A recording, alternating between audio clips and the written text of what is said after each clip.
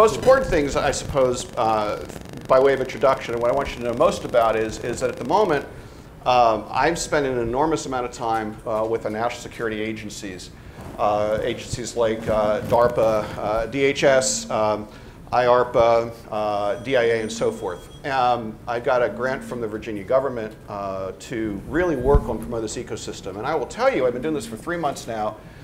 Uh, I am absolutely amazed, and I'm looking forward to communicating this to all of you in a report and various policy papers. I'm absolutely amazed how many people in the agencies right now understand that, that the old or the current way of acquiring technology is, is broken uh, and is going to continue to be more and more broken as innovation democratizes around the world. And, and you, I think, will find, if I'm correct, over the next couple of years, this region and the opportunities that entrepreneurs will have to do the things that we do will explode. I, I believe that over the next 10 years, this region is going to become the most important technology entrepreneurship region in the country. Um, without exception, and that includes Silicon Valley and Austin and, and all the rest, because of our tremendous overlap with national security and a great entrepreneurial community that has nothing to do with the government. So with that, before we go on and have conversations, the easiest way for us to introduce ourselves, I think, is to do it individually, because you guys do a better job of it than me. So hang on, I'll turn it over to you. We'll go down the, uh, the Sure, aisle sure, and we'll sure. have at it for a little while. Uh, my name is Hank Torbert. Uh, I've been in private equity effectively since I graduated from college. I've done everything from emerging markets, venture, all the way up to lower middle market private equity. I've helped build companies in the tech space, broadcasting space, energy space. As of last Friday, uh, my partners and I just bought a company in Texas in the oil and gas space, which makes my stepfather very happy. For some reason, he loves the energy space. Um, and so, as well on the education side, working with Jeff in terms of mentoring and tutoring students relative to entrepreneurship, which uh, you know I, I enjoy as the son of a, a professor, helping those who need guidance, as we all do, and we've all found that we do in our careers. Thank you. Uh, good morning, everybody. I'm Todd Klein. Uh, I started my venture career in Washington in 1994, which makes me complete dinosaur. Um, You started when you were three, as I recall. Gosh, it- in, in the As womb, actually. Yeah, it was an amazing ro- romper room class, wasn't it, really? anyway, so uh, I was a partner with a firm for 10 years, and then I launched my own firm, and then merged that recently with yet another. So uh, I run a firm now called Swan and Legend, which is, uh, I'd like to tell you it sort of fits in one very neat category because venture capitalists and private equity people and others like to try and sort of delineate themselves very crisply. But we don't. So every deal that we do seems to fall into the other category. And the list that um, was uh, given earlier sort of amplified, our example, ex- is- are examples of that. But uh, so we manage around $300 million. Uh, we do very, very early seed stage investing, uh, things that are brand oriented um, or tech enabled services. Uh, and then we do some later stage investing where an entrepreneur has gotten a company to a certain level, and the things that got them from here to there are not the things that are going to get them here. And um, there's a tremendous amount of operating experience in our partnership, and we like to sort of bring that to the portfolio companies. And then in terms of the things that we look at, like I said, we you know we we have a category that's in the technology arena. We have uh, kind, healthy snacks. I don't. Know, has anybody ever had a kind bar? Yes. Is that right? Yeah, they're great. So that's They are, the they're very tasty. fastest uh, growing. Awesome company. Uh, you know, healthy. Buy them in company bulk, help Todd. Yeah, please, Yeah. really. Um, and, and a series of nutritious. investments like that. And then we have another category which I refer to as fun, marketing for 'em. and that's um, the restaurants. And then we're also very significant investors in all of the local professional sports teams, except for the National Football League team. And you may speculate as to why we chose not to participate there. Um, and then uh, that's it. Good morning, everyone. I'm Ed Barrientos. Um, I guess since you started in '94, you said I, was, I started in '95. I'm pretty close to to a dinosaur. I I, I, I represent sort of the angel investor uh, community. I've been investing actually since uh, 1995. I came back uh, to this area from Germany, and I decided at that time I want to uh, I want to become an angel investor. It, it wasn't as well known a field back then, Um, I thought all you had to do was invest in the company, uh, wait six months, and start counting your money. um, I've learned a lot since then. Um, You know, my my uh, my first experience was with a company called Arc Second, which was the first company actually I invested in with uh, with some local VCs. Um, and what I thought was going to be a very short stint again became a 10 year journey. Um, much like I believe it was Rick who said that early this morning. Um, you know, I'm a serial entrepreneur, so for me, making investments oftentimes lead to me running the businesses. There's something just incredible about running a startup.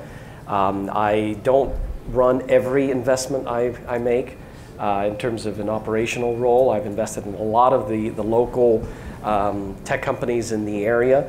Uh, but I do run Brazen Careerist, which is a company that I actually did not find locally. I, I, found in Madison, Wisconsin, of all places. I didn't think there was a scene there, a tech scene, but someone convinced me that I should look. Uh, I found a company, I brought them back, uh, so all the uh, um, you know the development folks for Virginia should be happy. I did bring them back to Virginia, um, and I, I, you know for me it's been really fascinating to see the uh, the angel uh, community uh, morph, evolve over, over time. I think we're in a very exciting time with regard to how the, the angel community, venture community, uh, private equity community are sort of morphing and changing. There's enormous amounts of change and disruption. Some of it brought in or brought on by technology. Um, but I'm, I'm excited. I'm excited uh, to be here and talk about uh, investing in startups. Uh, my, my, name is Mark Levine. I'm with uh, Core Capital Partners. Um, we manage about $350 million and about 70 investments um, over the past uh, dozen years since we founded the firm. Um, the way I got into venture capital was a little backwards. I, I actually had a service company um, uh, high, in the high tech area. We, we employed uh, you know, hundreds of engineers and PhDs. And uh, the way I got into investing was, uh, was very simple. Uh, some of my entrepreneurs, some of my engineers were leaving to start their own companies. And um, being a service company, that meant we lost a valuable asset. We lost somebody we could bill our customers with. So I started trying to stop them from leaving by offering them the opportunity to stay right at their desk and I would fund their companies. And I figured uh, my amount that I funded back in those days was about what I would have to pay a recruiter to hire a new engineer. So I figured there was 90% chance their business would fail, and they would be right at the desk, and I would have paid a recruiting fee, but I would have a more dedicated employee. Well, uh, some of them proved me wrong and actually went out and started successful companies. So uh, when my company was sold, um, it became a natural progression to, uh, uh, to go off and be a venture capitalist, but it was completely accidental. Um, and, and, looking back on those days, they were probably a little bit more fun putting that amount of money in people and seeing them develop things than pouring three, five, yeah. seven million dollars somewhere and watching, being, the yeah. watching the infrastructure grow. So. Um, or like the Hindenburg. it was a brilliant business plan on my part. Well, no, no, that's not. Go, go ahead. It worked for Thermo Electron. You know that. No, Thermo Electron was, so, we so, were in Massachusetts, we were in, the, yeah. Uh, we, we were on Route 128 and Thermo Electron spun off right. many companies. Right. Well, well, let's, let's, um, let's continue on this riff. Ed touched on it, and, and Mark, you were sort of getting there as well. How, how has the venture industry and, and, angel industry, how has it changed? What are you guys seeing? Because I agree with you, it's a very different world than it was back when uh, dinosaurs ruled the earth. Since, since we can all remember riding the brontosauruses uh, in the brontosaur triple crown, but uh, I actually remember when, when they invented fire. Actually, do you? Yeah, it was really hot. It, it was very cold the day before. well, Jonathan, I can start and just talk about sort of the type of investments that that are available today, or that present themselves to uh, at least angels. Uh, they're very different than than they were uh, back even, even 15 years ago, 20 years ago. Um, the company that I invested in was very heavy tech, um, lasers, lots of uh, electronics, embedded systems, firmware, software. Uh, the, the cost to develop this type of technology was really, really high. Uh, building actually software in general was extremely difficult, and anything you wanted to do in software was a minimum of a million dollars. I think what's changed dramatically is the cost of developing products, right? Um, products. Especially with the with the uh, with the web, um, with the tools that are available today, the cost of getting your first product out there, whether it's a minimal viable product, whatever it is, is just so much lower than it used to be. So that's changed the economics. It's actually allowed the, the angel to be part of the, the funding equation longer. It used to be that the angel came in, uh, put in their, their few bucks, and then just watched things grow, but and, and watched other funding rounds take place. Today, that, that, that's changed. Well, if I can add one other point, it's also the type of investor you used to see who was an initial angel. It used to be a group of doctors or dentists or whatever the case may be.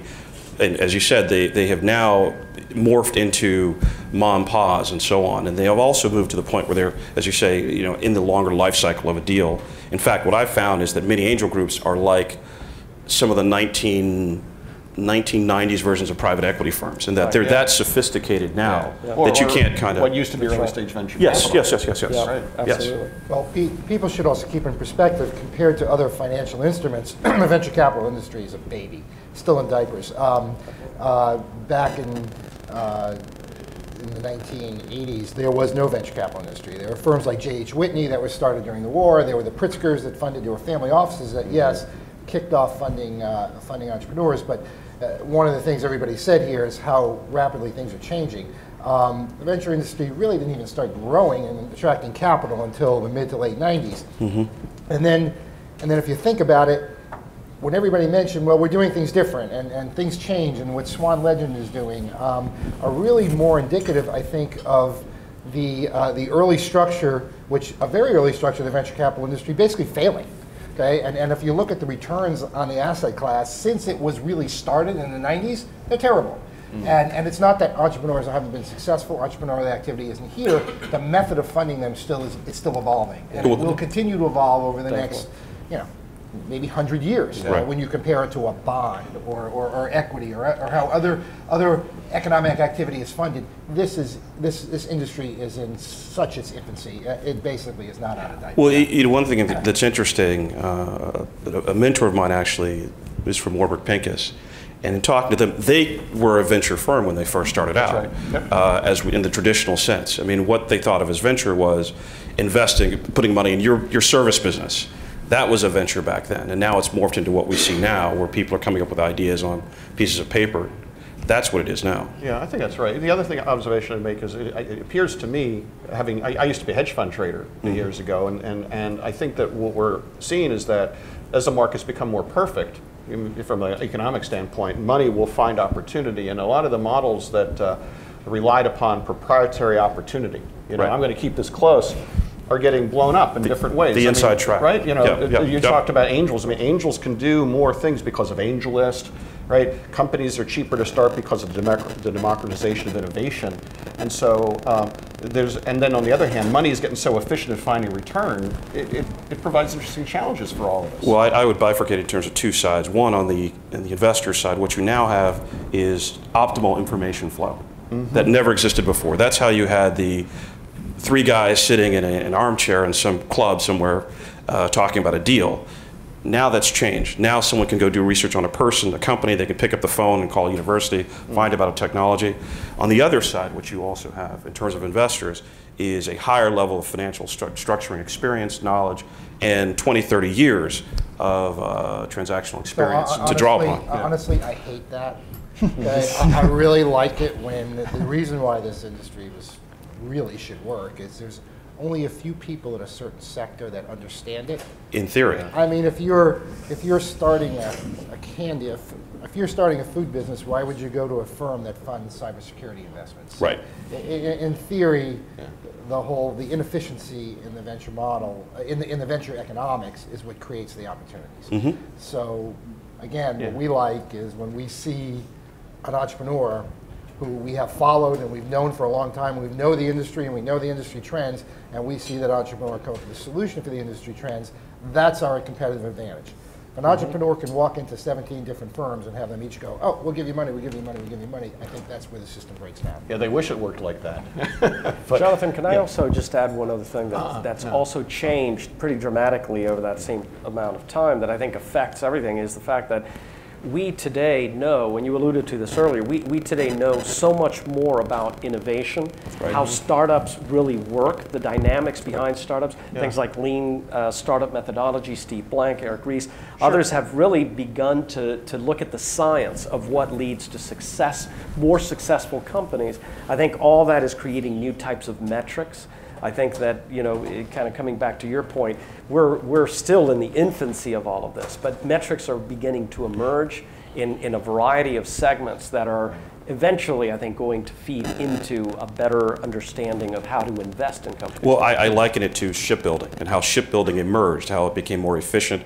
Uh, the, the ships themselves became more optimized for certain environments. That's what's going to happen, to, and that's what is in fact happening So- with the venture community. Right, so we've talked about this now for a few minutes, and, and I think it's clear to say that we live in a very unpredictable and, and strangely uh, weird quantum foam as investors.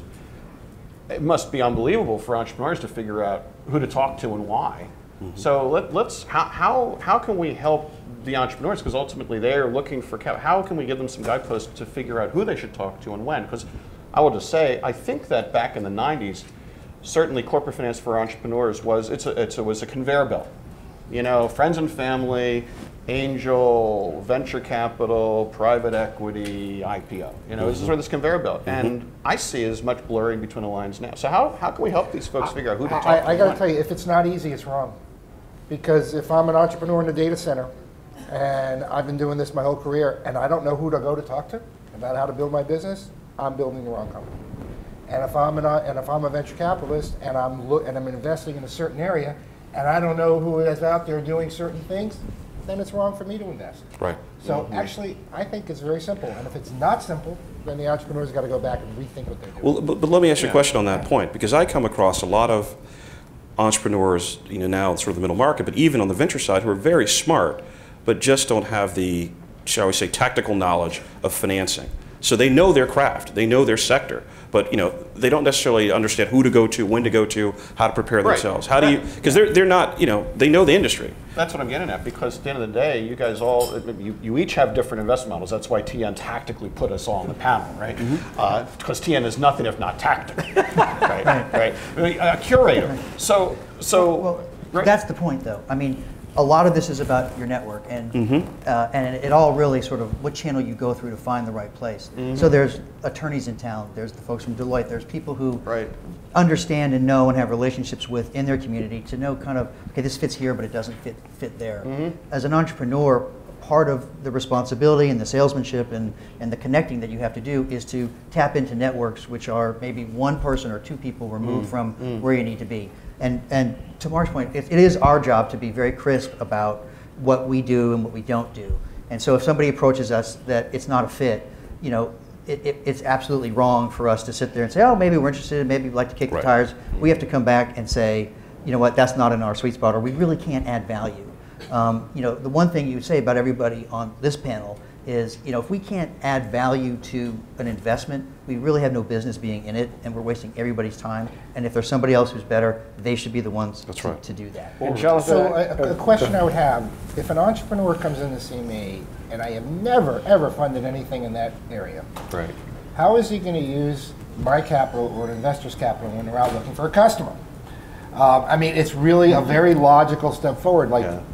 why are why are we talking to each other? If, and, and, and why, who would you be selling your Yeah. product? There, there, So- there, there are two views, though. I mean, for, for many of the larger, very, very, very successful firms, one thing they did when they expanded into new markets is they have industry experts, which we all have for all of our respective efforts.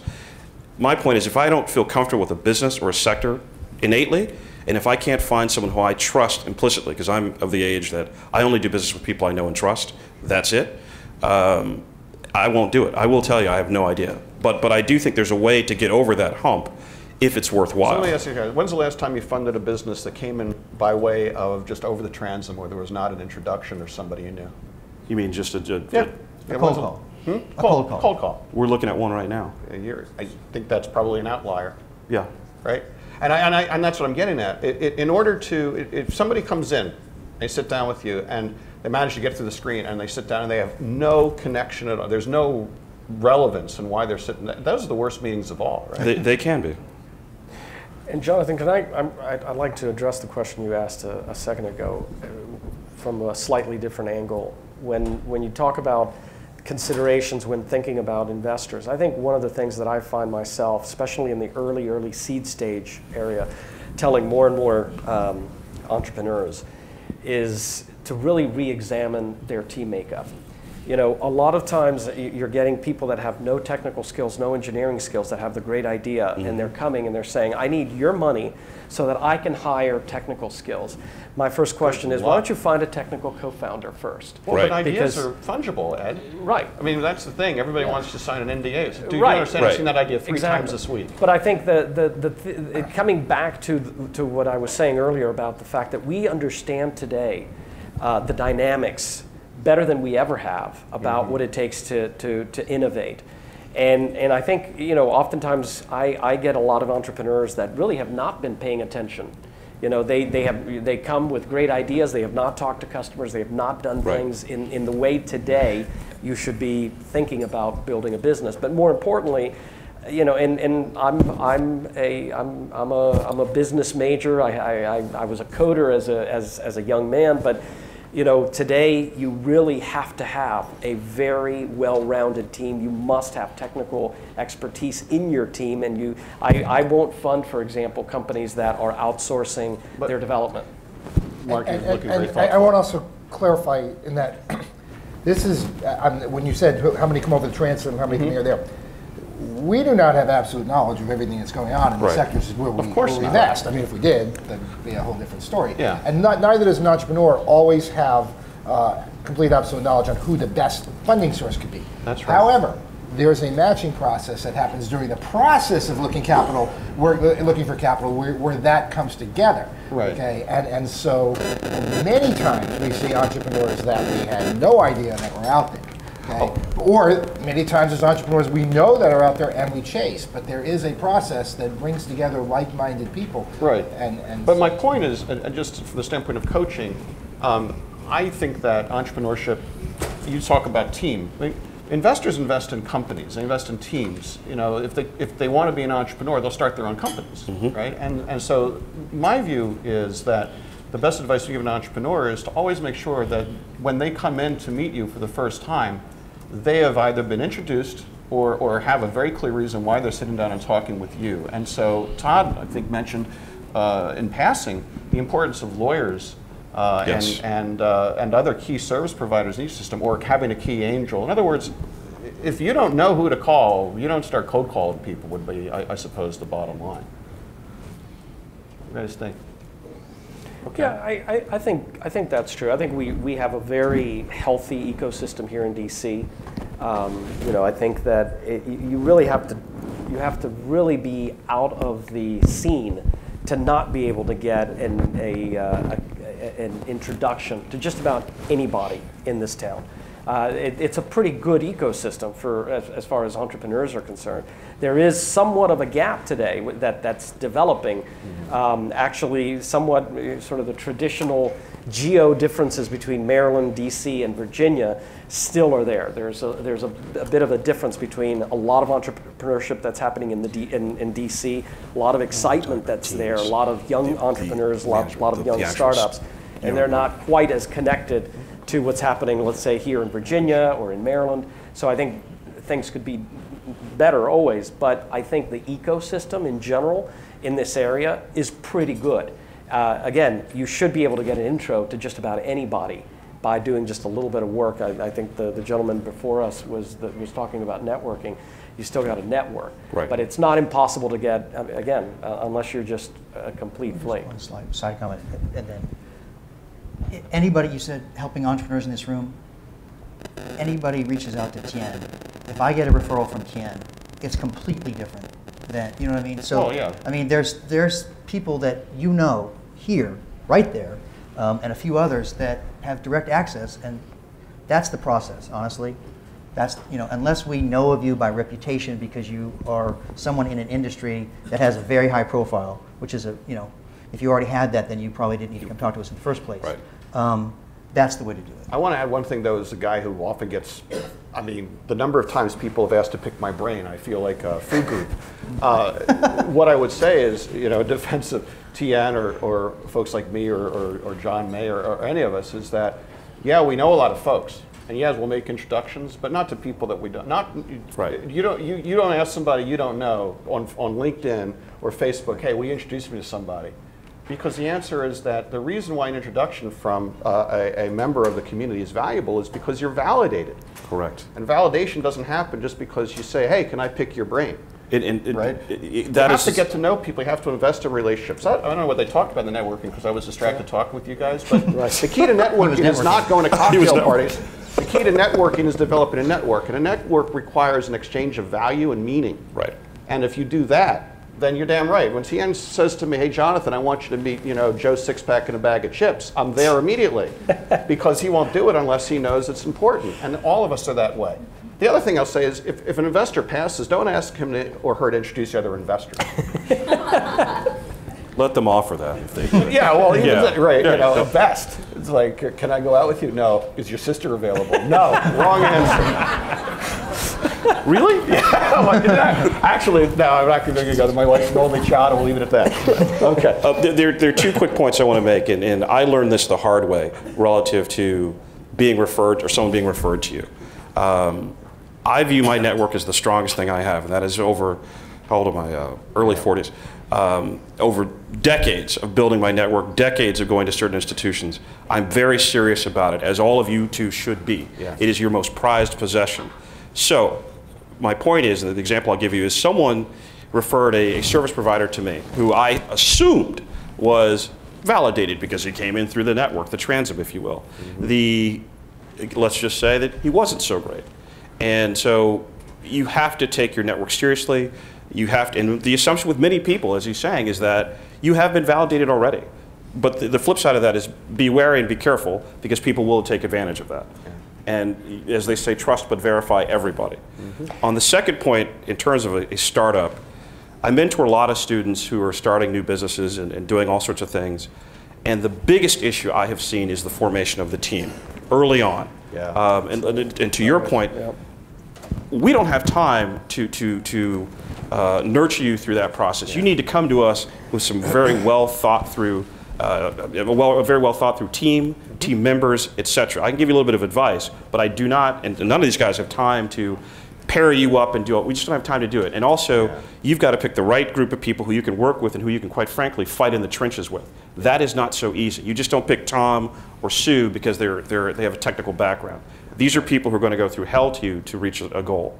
And it- it's got to be the team dynamics, team experience, similar shared long-term goals. Are they willing to sacrifice as much as you are? These are critical issues. They may sound soft and perhaps hokey, if you will, but they're they're the beginnings of a team. And the example I give you is I had a mentor or mentee rather who came up with this sort of video thing. It's similar to Instagram, but you could upload videos in real time, and you could effectively each one of us could upload a video and it would put all of us on the web together and create a picture of wherever they were. So think of a beach, it would have the entire beach laid out. He had this two years before Instagram thought about doing any sort of thing relative to video. Guess what happened? They couldn't even get past the shareholder agreement stage. Why? Because this partner wanted this, this partner wanted that. And I told him from the beginning either cut bait and run or figure this out. And this guy lost perhaps the best opportunity in his life. So I'll put on my professor hat for a moment and, and say that when we talk about this at, in my uh, entrepreneurship classes, best advice I can give you is that um, we all have what I would call winning strategy, meaning how we get what we want in this world. And that, and, and for example, if you think back to nursery school, how did you get your way? Did you cry? Did you scream? Did you go in a dark room and think about it? Were you a collaborator? How did you get your way? And I promise you that today as an adult, you get your way that way. When, truthfully, think about it. when you're under stress. If you are a deep thinker, when you're under stress, what do you do? You go in a room and you think about it. If you are a talker, you go and you find somebody and you talk. You don't even care what they say back. You're just talking. That's the way we manage. To, and the point is that teams, you don't know who somebody is until you're under stress. Yep. And, and teams create culture based upon how their winning strategies match up. And, and you know, I've seen teams fall apart over the shareholders agreement. I've Oh, seen over teams pure fall nonsense, apart. frankly, I've seen investors and teams fall apart. So the bottom line is, so I have a friend um, who's very patrician and he's in the venture industry. His, I will never, he says, I'll never invest in somebody unless I play golf with them, which I think I always thought was very elitist. Um, but, uh, but his point was that, well, if I see how they handle uh, adversity, and I'm a bad golfer, I understand that, um, if they cheat, if they yell and scream, then I know what kind of person they are.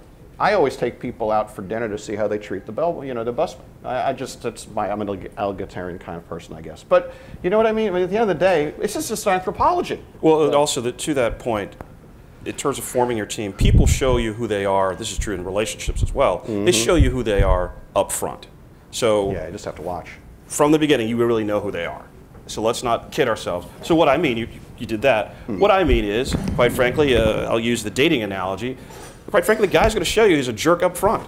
So don't be surprised if he does something jerky five years down the line. Same thing with picking a team. Yeah. If the guy is not as committed, not being on there on time, not really sharing his network, well, because he's, you know, like I said with my mentee, you know, the guy all of, put in two dollars, if you will, and all of a sudden wanted to control the whole thing. My point to him is that's how he's going to behave throughout the entire partnership. Fundraising, Steve.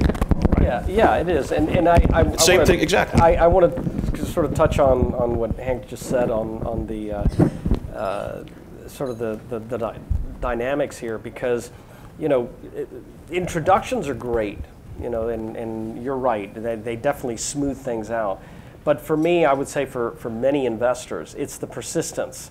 Uh, going back to your dating analysis uh, analogy, you know, oftentimes someone will make an introduction and you know everyone's busy and if you're if you if anyone knows that you make investments you're just continuously getting emails and, and requests for meetings and so forth um, I- rarely will meet with anyone that is, has not been really persistent, and I say that with, with Oh, you know, you- you knowing just- full well that I'm going to get like I a hope million that the business continuous emails. If that ends up in the press, you are so screwed. exactly. You're not going to be able to say no but to it- anyone. But it's true. You know, uh, part of being an entrepreneur is being extremely persistent. You're And not going to give yeah, up. right. If you think that's the right person that that needs to invest in your company, you're going to go till they actually kick you out of their office. But but but You know. people but sometimes people are stalkers and weird and so yeah, you know, so true. so I, I invested in a You know, company. uh, my, my, my, my view on that is actually interesting. It, it's not about me.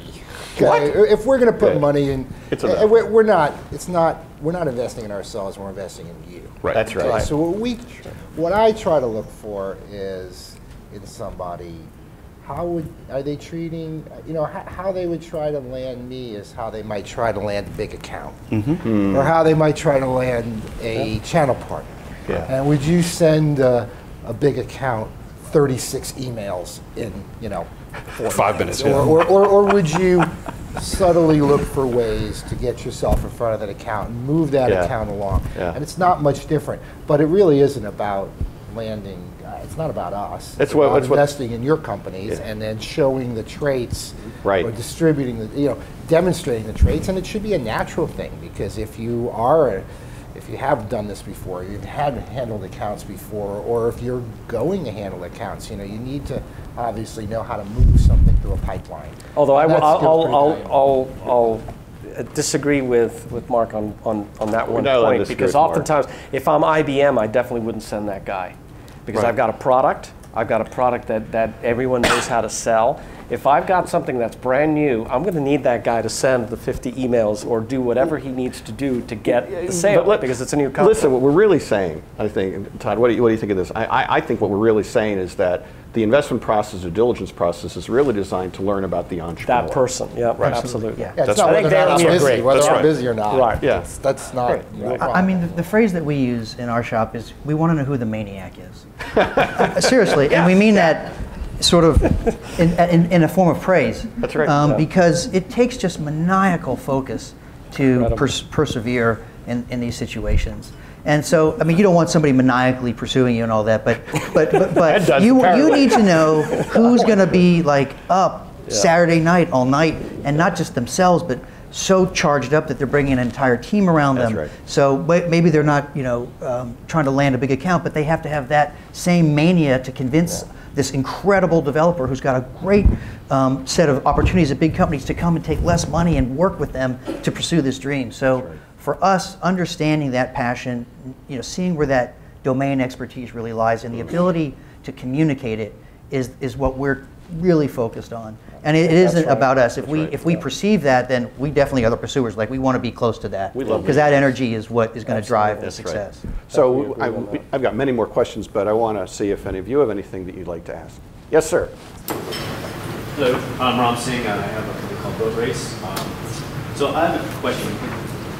The- There are two new models that are out there, or not new. One of them's not really new. It's the Y Combinator 500 startups, which doesn't really do much vetting um, to the extent that you guys are talking about. Doesn't- You take the cold calls. Well, I think 1776 would immediately violently disagree with you on that. So the question is, there, there are two, uh, what uh, uh, was suggested is there are two investment models out in the valley that, uh, or, or that are changing the industry. One is uh, the accelerator model, which is uh, best exemplified by uh, Y Combinator accelerator and 500 startups.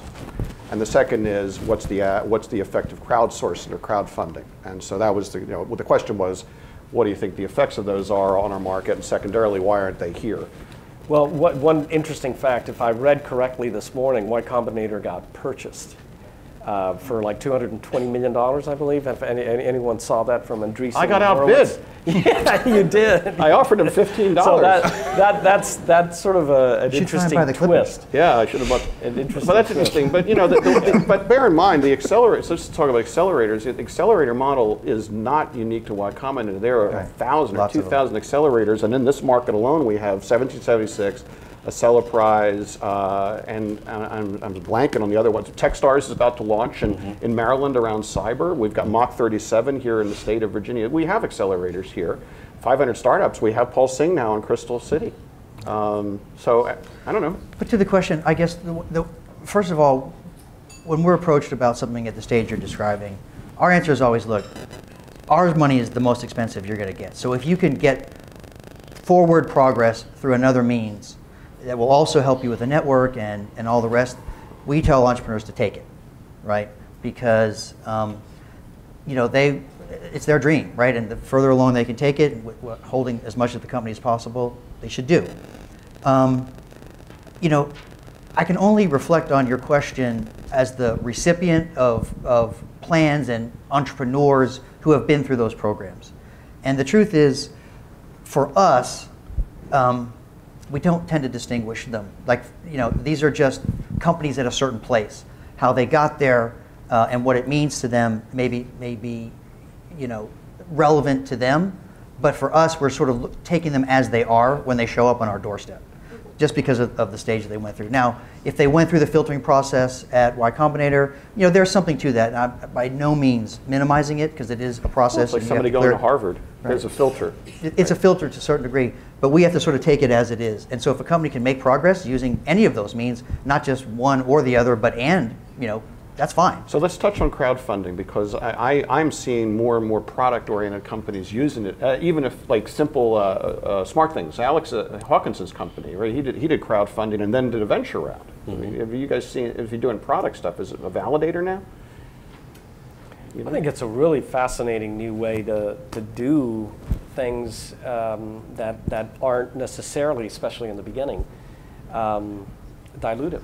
You know, you, Yeah. you think of you think of the, the concept. uh, Oftentimes, people are told that the best way to finance your company is through sales, not Yeah. VC money, That's not right. angel That's money. right. Well, uh, crowdfunding gives you a very unique way to do that. Yeah. If you happen to be in an area that lends itself to that, I think it co- goes back to what we said early on. I think the the industry. Um, the whole the whole ecosystem is is changing drastically. I, I I don't know where we will be in even a year with regard to the different types of crowdfunding because there's crowdfunding and then there's crowdfunding. Well, the, the So crowd all equity these things are is- changing drastically. The SEC is not going to change the role of accredited investor anytime soon. That, that, you know, and, and it's all deadlocked until the next presidential election. You know, I don't think. I mean, it- you're you're basically taking 80 years of, of history, and you know, to the idea that letting people that are that are not wealthy invest in startups in a big way. Well, I, I will Mark, say one thing say that I find very funny is that we, we allow people to gamble online, Right. but we don't allow them to put their money in startups. Well, yes. Another question. yes, sir. Um, I had a question more about recruiting technical talent and uh, leveraging the LP or latent LP base here in DC. My perception someone ignorant that it is, is that there's not as much capital here in DC, and I, I have a sneaking suspicion that that's not true. But when you talk about leveraging, you know, having a technical co-founder or developers, or whatever, in New York at least, those guys are extremely expensive and they shift from company to company for as little as three thousand dollars. So what are your thoughts on? Um, well, I think you're right. I think 95% of capital is in Silicon Valley, so it is it's fact life. So, um, uh, but but also I, I hear many many fi- many companies come by. I had one in my office the other way that said, if I was only in Silicon Valley, this would be funded. So I, I think Great, great. Yeah. Blah, blah, blah, blah, Blah, blah, blah, blah, blah, right. Have you ever seen a really great company in this market not get capital? I haven't seen it yet. I, I haven't seen it yet. And, and to the, the talent pool question, I, I think that's a problem everywhere. I mean, it's a problem here, it's a problem in, in the valley. I think we just don't have enough technical folks. Uh, you, you, you, you have to have not only the, the technical talent, you have to have the technical talent plus the desire to be in a startup environment. You, you add those Right. two See, together, you I- shrink the I would beg diff pool. with you. I, I think that th- what's interesting about this region is there is a lot of capital for technical talent, but a lot of the capital goes through CACI and SAIC and General Dynamics. Mm-hmm. And I mean, seriously, I mean, we got more PhDs here than the, uh, more software Right. engineers here than Silicon Valley. But the, the challenge is that we don't. We, we have a lot of great architects, we have system designers. We don't have a lot of product people, right? Because Or people that want to take that risk Yeah. It's- that a comes smaller- with a startup. Yeah, it's much and to your point, with more capital, you know, with more private capital, we might see more of it. You know, if you're making 150 grand a year working in a, a cushy gig, Why, why sacrifice? That's the issue you face here is that these folks have a pretty good quality of life. Yeah. But I would argue if you, if you can crack the code here, um, you will find cheaper talent that is in fact more loyal. Because again, New York is. New York's New York. Yeah. Exactly. Yeah. With So- all that it brings. Uh oh. Here comes the hook. not, The I'm not like giving the- you guys a hook. Uh, like Mark Levine. Mark Levine has to leave at 11:30. Maybe we have time you for guys one. experts here that keep going on. Going Are you really? You're gonna leave us here? As long as Ed's here, we're fine. Some people have to. Where are you going? New York. Speaking of which, Hi, Mark. Fred. Mark Fred, you had a own round of question? No. It's like it's like getting you know what it's like getting subbed out of the basketball game early, right? He gets subbed out early. Do you guys have time for one or two more? Sure. Maybe. Yeah. Okay. Uh, Fred had a question. So When you make an investment, um, how sure are you that it's going to pan out? A hundred percent. When you make an investment, how sure are you that it's going to pan out? Uh, and also, how do you manage um, kind of the fear of losing capital in your own minds and also in the minds of the owners? You want to go Different first? if it's your money, if it's somebody else's Yeah, money. I mean, I- No, no, it's No, it's not. not. It's- No, it's not. Losing money is losing money. Well, yeah, Yeah. but, but we're fiduciaries if we're managing other people's money. So you ask, uh, do we think we're going to lose money making? If we thought when we made an investment it wasn't a great investment, we should probably get sued or fired or both. So you know, th- th- right? I mean, that's number one. We have to invest believing that it's going to be the one in the portfolio, and we price everyone as if it's the one because we know seven out of ten are not. Well, traditionally, I mean, the, the way I look at it, you want to do your best to stack the odds in your favor before you close the deal. Yes. Period. Yes. That's the best you can do. So that means potentially locking up contracts or other things in place to, to enhance your sales. That means making sure that the legal structure of the company is tight. That means planning out the exit of the business, which is what we do. We plan out four or five years. Hmm. Now, does that mean that's going to happen? Does that mean that an asteroid's going to, you know, not hit Earth? I don't know. but the point is, we do the best that we can to ensure that outcome. You can only control so much in life, as you know. Is it different if it's your own money, Ed? I, it, well, I, I don't know what it's like to have other people's money to invest, It's but I, really I can tell I can speak from my point of view, and I maybe maybe answering that I, I like the Mike Tyson rule, which is everyone has a plan until you get punched in the face, and that's Yeah. basically the, Yep. the the bottom line is you you have a certain uh, starting point with when you when you make an investment i agree you do all your diligence you think you know what's going to happen but you know 100% that things are going to radically drastically change. That's why we say we're really investing in the person Right. because we want that person to be able to change with what they find out. Almost i, I don't think there's uh, may- maybe there is some outlier out there. Rarely does a company go from an idea to an exit In a or linear success fashion? It right in never a linear fashion Yeah. where the idea didn't drastically change. So I, I, that, that's my rule. You do your homework and you believe in who you're investing in and, and understand that your chances of losing everything are very high. I want to go to the second part of his question and, and ask you, Todd. I, Fred, you also said and asked about losing money. I believe that you learn more about an entrepreneur and more about an investor by how they handle that mm-hmm. than you do from how they handle success. Well, I, I would, I would certainly agree with that point. And, you know, all you're doing when you're doing this process is trying to manage risk, identify it and manage it. Mm-hmm. Some risks you can manage by having relationships with potential customers that you, you know, can i- i- make introductions to and manage the sort of sales risk. Or you have relationships with technical resources that can support the business. But you simply cannot manage all the risks. So you are jumping into the void with the entrepreneur to a certain degree. That's part of it. And the hope is that the opportunity is big enough it's worthwhile. Uh, you know, the joke that we always say is that you, in our business, to survive and be successful, you have to be uh, 95% pessimist and 5% riverboat, riverboat gambler. And um, if you have that No, ratio, um, you've got a shot because if you're if you're all riverboat gambler, you're going to try everything and you're going to lose. And if you're 100% pessimist, you'll never pull the trigger. Right. So, so that man, management process is key. And, and losing money, you know, that's why we have a portfolio. That's right. Because we're going to, you know, if, if we don't have wipeouts, like total wipeouts, then we haven't taken enough risk. Mm-hmm. You know, we've not done our job. And our job is to take those kind of risks because this is really the only financial vehicle that takes risks like that, right? That's, that's our role in the economy. You know? The last thing I'll say, and because I, 'cause I've seen this book and read this movie, is that the most important thing you can do as entrepreneurs is, is never take a dollar from somebody that you don't know how they're going to handle it when your business fails. Because the last, because every business, to, to Ed's point, it oscillates like, like a moody teenager. Business, I mean, you, you literally, you will go home one day and think you can't possibly be more screwed than you are at that moment. And you wake up in the morning, pick up the phone and be, oh, I was wrong. I'm more screwed this morning. That is what it means to be a startup. That is life as a startup. And if you have investors who think I was the most successful car dealer in Tuscaloosa, therefore I never lose money, and the first time you miss, you know, your business misses, a they're on the phone. What the hell? Why is it taking, you know? Most startups take seven to ten years to get to fruition. You need people who understand. I don't care whether it's your Uncle Irving, or, or it's uh, an angel investor you don't know, or it's a professional investor. We all leave footprints in the sand.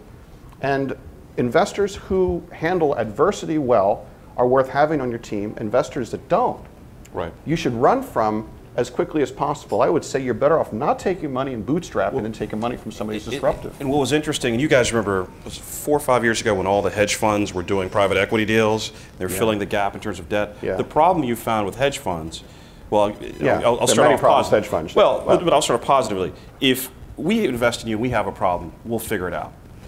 With hedge funds, the lawyer calls you. yeah, and he's usually a New York lawyer speaking as a former New York lawyer. And the issue is, you know, pay or we're taking over everything. Right. And that's why that wasn't such a great model for them because their business cycle and how they work just doesn't work with sticking it out seven years or however long, Yeah, however that's long right. it is. And they don't have the resources to dump someone in there and fix the company.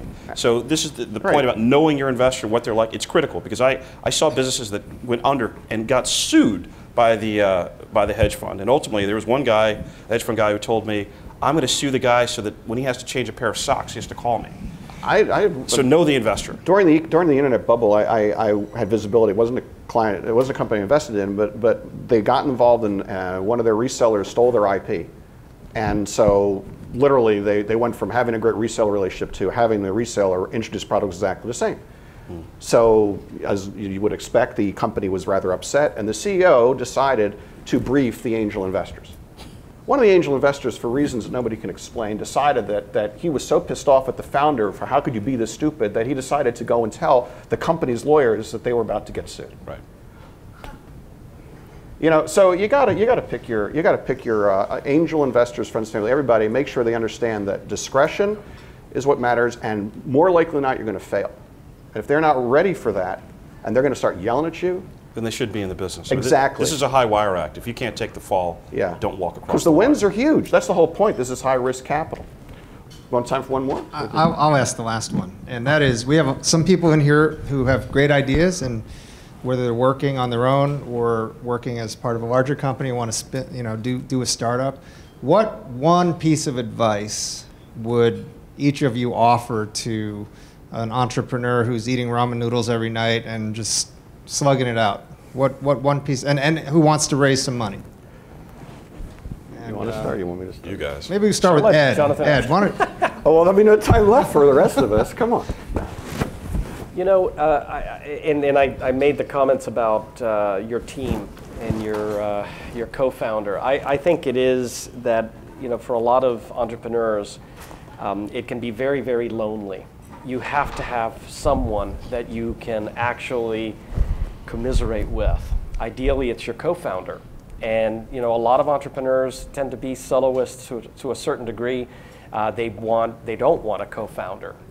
Um, it's a very lonely place because, as we've all talked about, how difficult it is. You are going to get punched in the face probably throughout. The, Rick mentioned the five times that you know there were changes. I'm sure there were lots of mini changes.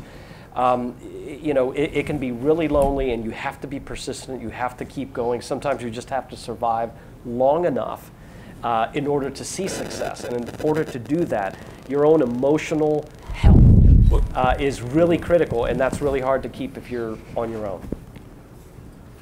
Um, I would certainly support that. You know, picking up on an earlier comment, uh, I think an entrepreneur in the scenario you described, Ken, should try and get as far as they possibly can without having to take outside money. Definitely. But once they see that point, I would recommend that the entrepreneur really think about the key value creating milestones and raise enough money to get to the next one, maybe a little bit more. And really think about if, if, if money's the thing, you know, everything else, you, you've got your team, you have a sense of where things are, and that's really the critical missing resource think incrementally. Um, don't start with, okay, you know, $10 million would be great, Right. and I could do all of these other things. If you think in smaller pieces that are um, measurable and very visible, that will be incredibly helpful, and the recep- reception you'll get when you talk to investors, I think, will be more successful. Uh, I, I'm going to echo his point about the sanity. It is critical. I mean, it's, it's, it's underrated. You have to understand that you're going to go through effectively business combat, and you may lose. And you have to be mentally prepared for that and realize how much you can lose. The, uh, the quite frankly, the pressure it's going to put under you, or put you under, and your and your family. Think clearly. And the most important thing I learned uh, from a, a buddy of mine who lost everything through his business um, was how important his mental health was. How important talking to those who could uplift him at, at deep times, uh, and also another point to that is just don't be upset if things don't work out and hermitize. You got to be out there on the field. Mm. Whether you're winning or losing, you've got to be out there meeting people and so on. So that's all I got. The sanity point is really, really important because the interesting thing about entrepreneurship is it attracts dysfunctional people. it does. I mean, seriously, think about it. If, if- that if you Why really, if you really think about it carefully and think about dysfunction, entrepreneurship attracts dysfunction. One of the biggest challenges that, that we have as investors is to separate people crazy enough to be entrepreneurs from people that are truly crazy. honest to gosh, honest to goodness, because we all have to be a little bit crazy to, to blow up the status quo and do something risky. You have to be a bit crazy to challenge convention. You know, the, the, the people in Mayflower were freaking crazy. Okay, there were no there were no Wendy's to eat at when they showed up. my my point is is that if you want to become an entrepreneur to get rich, please don't leave your job. Become an entrepreneur because you want to bend the universe to your will. That is what entrepreneurship is. That's why i- i- people are successful as entrepreneurs, love their customer, they love the journey, they love their employees because they're getting off on changing the universe around them. The people who say to me, oh, I'm going to turn this thing around three years, make a lot of money, I'm not interested in them at all because they're just doing a financial transaction and they won't be able to succeed generally. Thank you so much. Um, Jonathan, Hank, Todd, Ed, and Mark. Uh, let's give it up for these guys.